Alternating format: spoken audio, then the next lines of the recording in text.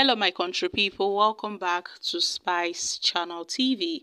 War of words have continued to dominate the crisis in the Rivers State chapter of the All Progressive Congress, with the former National Publicity Secretary of the defunct New People's Democratic Party, Eze Chukwuemeka Eze, on Sunday Replying to the oust chairman of the Rivers APC Caretaker Committee, Tony Okocha, that President Bola Tinubu already knows that he would lose the 2027 election.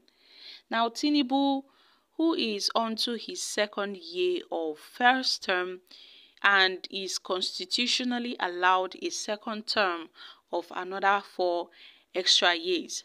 But the poor state of the economy which has created untold hardship, unemployment, worsening state of insecurity, and, and attacks on free pass where journalists are hounded and abducted, some even held in solitary confinement for months, have dominated early terms and teams by opponents and some members of the APC who are saying the president stands a good chance, you know, of losing the next election if he seeks a re-election by 2027, and no less than, a, than Rivers State, where the campees from the PDP to the APC are pushing a different narrative in favor of the president with accusations that they are making meaningful living out of rallying support for the president despite more than two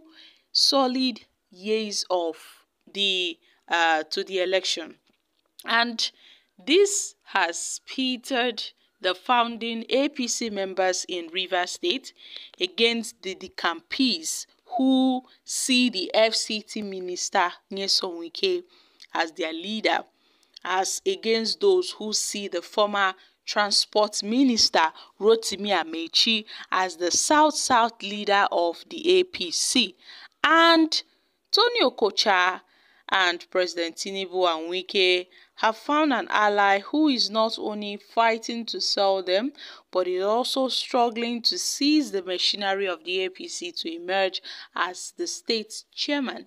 Although the courts recently kicking out Tony Okocha as the caretaker committee chairman has mobilized members and sympathizers of the APC in Rivers to stage rallies in support of the president and Wike, who was governor under the platform of the People's Democratic Party for solid eight years. Wike was also Minister of State for Education and Local Governments and chairman while he was still in the PDP. Although he has stated several times that he remains in the PDP and is fighting in court to stop the party from confirming his expulsion, he is increasingly working to seize the APC structure in Rivers State just like he is by he is bidding to do the same in the PDP. And Amaechi's influence continues to loom large. Wike has spared no time attacking the former governor of the state and stated recently that there is an intention to throw up Amaechi's men and then Amaechi becomes the APC leader and uses the party to fight President Bola Tinubu in 2027. This assertion, however, did not sit down well with uh, Chukwuemeka Eze, who is also a chieftain of the APC, which forced him to caution Okocha from reframing using Amaechi to cash out from his paymasters and their allies who feel threatened at the mere mention of the name. He said that at this point, Amaechi should not be lambasted by any person. Okocha noted that um, Eze uh, noted that Okocha's paymasters and allies have been working to make Amaechi a subject to, to Lampon. Eze reminded Okocha that all these things that's happening in Nigeria the hyper unemployment, the hyper corruption, the hyper inflation, insecurity, food price hike, and other things are you know these are caused by President Tinubu and all these things will gang up together to fight Tinubu away in 2027. So he noted that Okocha is talking about 2027 but he's not even sure about now. Eze while arguing Okocha and his scourge consults Tinubu and those who form the APC to ascertain who is truly the leader of the APC in Rivers and South-South.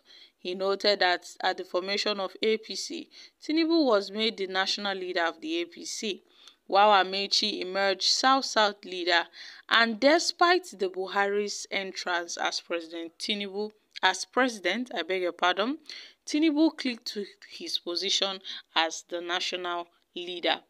So, he admonished Okocha and those allegedly sponsoring him to be concerned about the fact that the country once known as Africa's giant has collapsed in all facts under the nose of Tinubu and to channel his energy towards fashioning out solutions if they have any to solve the pyramid of problems we have and the problems they've created in Nigeria which has slowed down Nigeria's progress, whereby Eze accused the culture of mobilizing a paid protest in support of Tinubu, which crippled over 50 million naira without any effect after his removal by the court in order to remain in the good books of his paymasters and continually curry their chairs. Well, I must say, um, it should not be too late on River State politics. The president needs to move fast to resolve the protracted and lingering crisis there before the country's masses will advise the National Assembly to come in. The FCT minister has done his part and he should rest in Rivers State. Now, what are your thoughts on this, guys? These are reactions from Nigerians. Tinubu will not lose the 2027 elections. He must complete his tenure. He is not the one who caused the hunger and hardship in the north. Okay. Where were the northerners when Buhari was in power in eight years? Hardship or no hardship, Tinubu will complete his eight his eight years in office like Buhari did. Okay, my country people, these are reactions.